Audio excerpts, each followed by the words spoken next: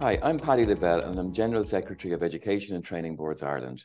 Welcome to our Future of Education and Training in Ireland video series, where I have a short chat with leading experts from our sector and beyond to get their insights and predictions on the future of education and training in Ireland. Today I'm here with Dara Ryder, who's Chief Executive of AHEAD, which works to create inclusive environments in education and employment for people with disabilities. After graduating from Queen's University in 2005, Dara joined Dún Laoghaire College of Further Education as a lecturer, where he became interested in inclusive education while working firsthand with students with disabilities in his classroom. Dara, I understand that you're an ETB graduate from the City of Dublin, ETB yourself, and that you were in Ballyfermot College of Further Education. How did you come to be involved in inclusive education and training? Yeah, well, I suppose like a lot of people, I think in this sector, I took a, a circuitous route. Uh, that's that's the way with our, our lives and our careers a lot of time, isn't it? Um, I suppose I started um, my interest in, in in music is what first of all drew me in to become a, a student in Ballyfermot College of Further Education. Mad about music, mad about recording. Any time, uh, chance I could get to really express myself through music, that's what I was doing when I was in school. I wasn't the most academic of of uh, learners, so I got the opportunity to, to join Ballyfermot as a music tech graduate had a fantastic experience in Body Ballyfermot there. Met a lot of great people who, who really opened up access to technology and music technology for me. And so after I graduated down from Queens, which I, I went to after Ballyfermot uh, to get a degree, um, I worked a little bit of a, a, time in studios and eventually came to doing some teaching in Laoghaire College of Further Education. And that's really where my interest in working with learners with disabilities came to the fore. And I suppose I found that that was actually a lot more interesting for me than the subject of teaching music technology in the first place. And the biggest thing that stuck with me from my time there was actually that I was often the barrier as a teacher myself all sorts of reasons that I never would have considered before I became a teacher, before I began to interact. But lots of things that I was doing in my practice were actually becoming serious barriers to access for those students. So that's really where I became interested in the sort of relationship between disability, the environment, the practices, the culture, all of those things, and really how those things can be disabling for people rather than necessarily always thinking about disability as something that's within a person. So that led me to my work eventually uh, in AHEAD, which is really a lot of that now is focused on the whole uh, universal design piece, which is really all about that. It's where we locate barriers uh, in, in the environment. How do you think education and training, training boards in general are dealing with disability and with inclusion in particular at the moment? I think a lot of amazing work is going on. That has to be said. Um, you know, we've we made a really strong commitment in the FET sector to universal design for learning in the, the most recent FET strategy. And I think we're beginning to see real dividends in, in how that's playing out now really creative classroom practice that's opening the, the door for a lot of students and and really getting them engaged in learning in a way that they they wouldn't have been before. And um, you know, I still think there there are gaps maybe that we have to address, um, especially for example with learners with disabilities. I think we can provide much more consistency with the individualized supports that we provide.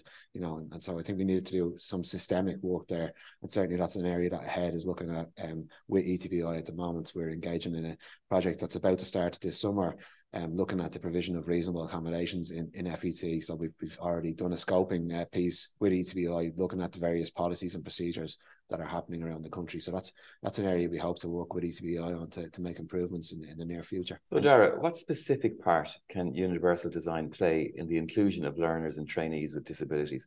Can you give us a few practical examples? Sure. The universal design, I think, can help us to be much more proactive in how we include learners rather than reactive. So rather than trying to make these single changes for single learners, instead we proactively design to build more flexibility, to build more accessibility, to build more opportunities for learner voice and learner choice right into how we design and deliver programs. So we might think about a very simple example. Okay, let's take the exam as, as something that happens in a, in a lot of our further education and training uh, courses. So if we think about exams, they're designed very much to suit a specific type of learners. And often what happens with a learner with disability is they'll have to do a, an alternative mode of assessment for that. So instead, rather than making that change for one learner, why don't we give every learner the choice of having that assessment? And by doing that, we open up the learning to a whole range of people that maybe before were completely disadvantaged by the mode of assessment that we may not even have considered in the first place. So universal design helps us to shift us to a much more proactive piece, which enables learners to have more choice right in their everyday classroom experience. How can assistive technology alleviate and hopefully eradicate barriers to participation and achievement for all learners? Well, I think the, the power of assistive technology is incredible when you when you see it in action, and and it's everywhere around us now. And often the line between assistive technology and just everyday mainstream technologies is blurring at a very rapid pace. You know, there's a lot of talk at the moment about AI in education, and I'm just really excited. Do you mind if I actually ask the question of ChatGPT instead and see what ChatGPT has to say about it? So I've typed that question in here, and here's the response from ChatGPT it's the examples it's giving about how is it can create accessibility, it can personalize education, it can promote independence, it can enhance engagement and participation, it can boost confidence, it can facilitate inclusion, it can improve accommodation, and it can support diverse learning preferences. And it's gone into quite a lot of detail underneath those bullet points for me. And I'm really excited by this kinds of technology because it gives us the idea of having almost a personal learning tutor in our pockets for maybe the price of a cup of coffee a week. You know, whereas before, if we think about our education system and how the sort of privilege plays into how how people can progress in education, the access to grinds, the access to additional support, this really democratizes that in in a really exciting way. And I think what assistive technology uh, can do can really help us to empower people to communicate in ways that work for them. So it can give voice to people who can't speak. Uh, you know, for example, we think about things like through our pan, uh, through the pandemic when we all moved to Zoom and Teams, building in closed captions so people who, uh, who have hearing difficulties can read on screen or language processing difficulties can also have an extra way in to the conversation. So i think there's all sorts of um, incredible ways that we can do that that we could we could have a, a single interview in and of itself on that.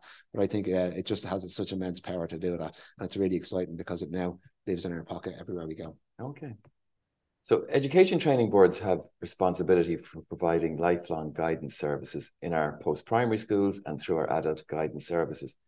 What do you think the key tools are for a guidance officer to call on to advise learners with disabilities on future options? I think, first of all, it's really important for our, our guidance officers to ensure that they are disability aware themselves, particularly around the whole area of communication with people with disabilities, to make sure that they can have fruitful and effective exchanges that you know that empower learners sufficiently. That's a really important point. We talked about universal design already, and actually, I think that really applies in terms of how we design our guidance services. You know, we need to think as guidance officers who's not in the room with me and why. You know, why haven't they made their way to our services?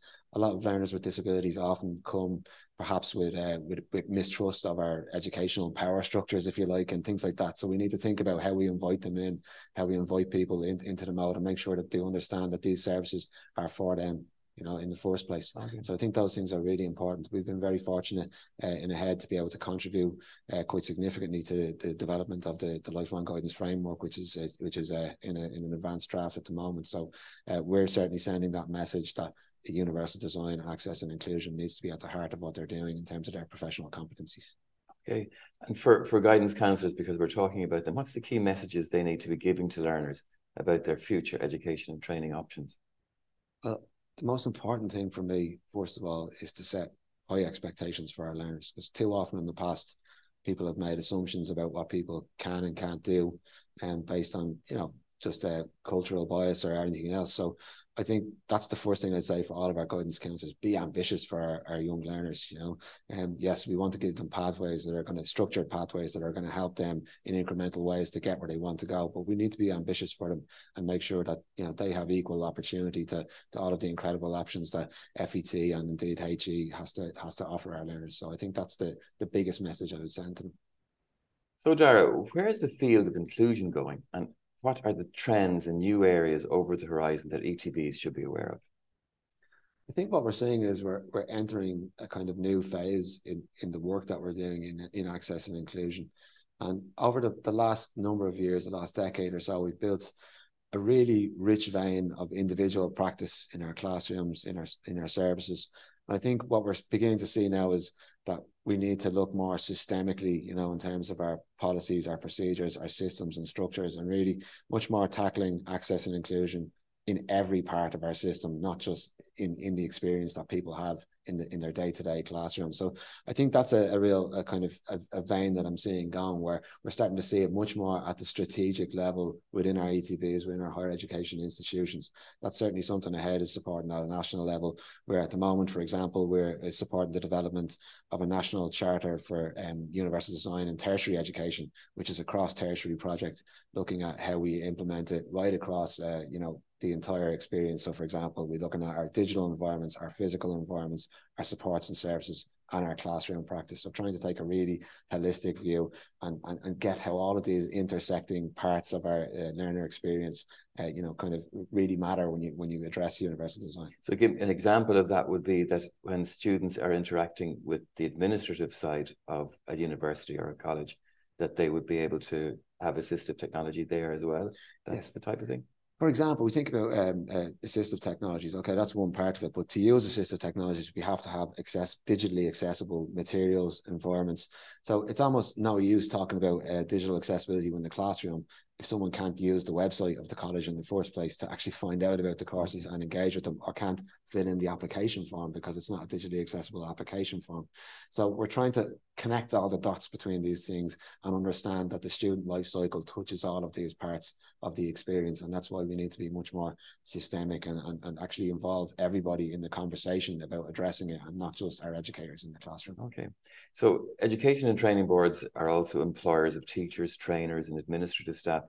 Is there a key action that we could take today to ensure that we are equal opportunities employers in more than just um, a statement? Sure. I mean, that does a lot of work in this space. Uh, often a lot of our, our FET uh, connections don't don't know that about us, but we actually have a work placement program for graduates with disabilities. So we have a lot of experience in that area too. Um, I would say, like, first things first is that having a diverse profile of staff is is the most important thing you can do. So it's how do we actually do that? How we go about trying to achieve that?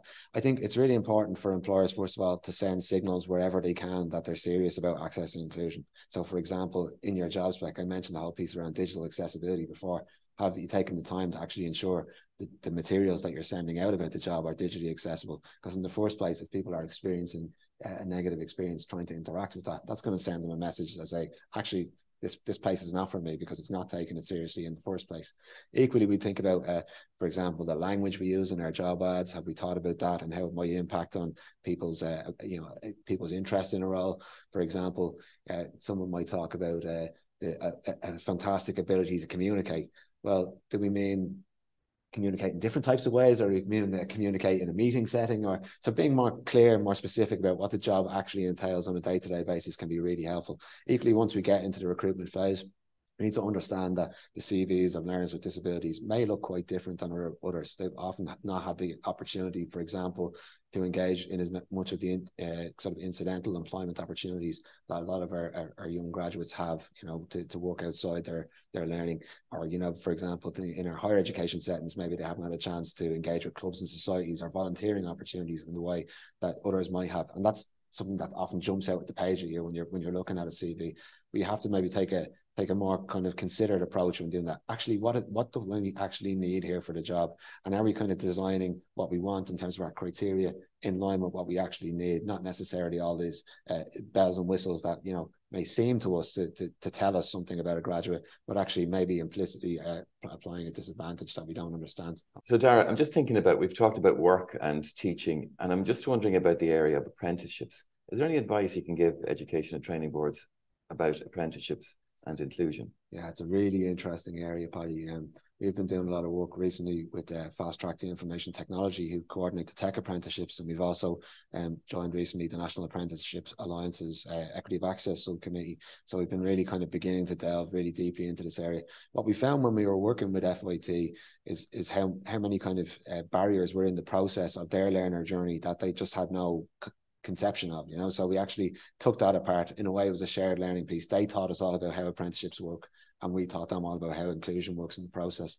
So when we mapped out the learner journey, we found all of these different barriers. Uh, I suppose the things we can do quite early uh, in the early process that you know, I would say the easy wins for us are, you know, when we're coordinating tech apprenticeships, understanding do we have learner support at the point of entry where we can actually have somebody who's there to support the learner to understand how uh, their disability might impact them in the, the employment space, how we can work with the uh, the, the learner and the employer to communicate those needs and create a fruitful kind of partnership around that rather than maybe placing a learner with a disability into that zone where they may be struggling but they may be fearful of disclosing their disability because of uh, because of past experience and so forth. So we need to kind of create a smooth processes that help us to kind of communicate those needs and help us to organize the, the support that might be necessary along that journey. And it's very challenging in apprenticeships because there is so many different stakeholders the employer uh, the, the apprenticeship coordinator the VET Centre, the, the, higher education institution where they often take exams. So it's it's not an easy challenge, but it's certainly something that we can make a lot of progress on. So Dara, is there any event or anything that's coming up for AHEAD that we would be in we might be interested in education and training boards? Yeah, well, I think I mean uh, education and training boards generally have have really um, come to the party when it comes to UDL. And this uh, autumn, as we always do annually now, we're running our UDL badge program, which is a, a 10 week program, 25 hours, totally free for uh, ETB educators to, to join in on. So we'd really welcome more and more people getting involved in it. But really, really excitingly this year, we're also launching the pilot of a sister badge, which is called UD Beyond the Classroom. So I mentioned previously that piece about thinking about it much more holistically about, uh, you know, uh, uh, people who are working in education setting, not in the classroom, but actually have a very important role in the learner experience. So we're launching a pilot program also in October to run alongside that, which is addressing universal design in those contexts. So we're really, really excited about that too. And that's something that we hope our, our FET system will really get on board with. I know that the people who have attended the UDL badge uh, training have really found it changes their changes their whole approach to teaching. So I'm I'm really glad that you're doing more for the system in relation to what you know broadening the people who are going to be involved in that. Absolutely, and it's amazing we have over three thousand educators in further education and higher education who've taken that badge now in the last number of years. So it's it's great to see the engagement and to know that every single one of those ed- educators is making a positive difference in their learners' experience. Well, listen, thanks very much for all the work that you do, Dara, and in particular for the work that you do with, with us in education and training boards. We really appreciate because it is such a part of what we do.